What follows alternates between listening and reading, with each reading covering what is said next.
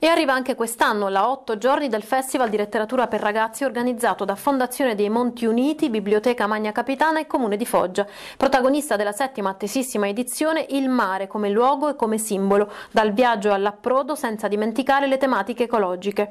Una serie innumerevole di appuntamenti per far fiorire sulla pagina le storie e le illustrazioni dei migliori autori della letteratura per l'infanzia e per ragazzi e ragazze che si terranno nei diversi spazi culturali della città, tra musei e librerie librerie, accademie e auditorium, tra teatri e librerie, 107 laboratori, 11 spettacoli, 12 incontri con l'autore, 2 concerti e le tanto desiderate notti in sacco a pelo in biblioteca. Ne annunciano così le virtù gli organizzatori entusiasti anche per questa settima edizione tantissimi incontri come le precedenti edizioni, 135 appuntamenti divisi tra laboratori, spettacoli teatrali, incontri con gli autori.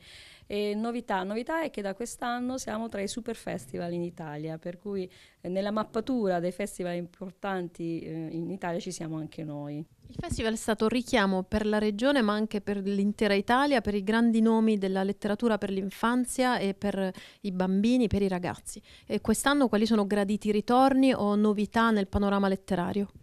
Graditi ritorni di Antonio Ferrara, di Fuad Aziz, di Antonio Boffa, di Teresa Porcella, Le due notti in Saccappello con Sergio Guastini, ma eh, rincontriamo Andersen attraverso Barbara Schiaffino che verrà a presentare Andersen a Spasso, un progetto editoriale molto interessante che ci permetterà di far lavorare le classi per un concorso. E domenica sera, il 29, ci sarà la premiazione e sarà lei, Barbara Schiaffino, la direttrice direttrice della famosa rivista Anders Letteratura per l'infanzia, a premiare le scuole che vinceranno.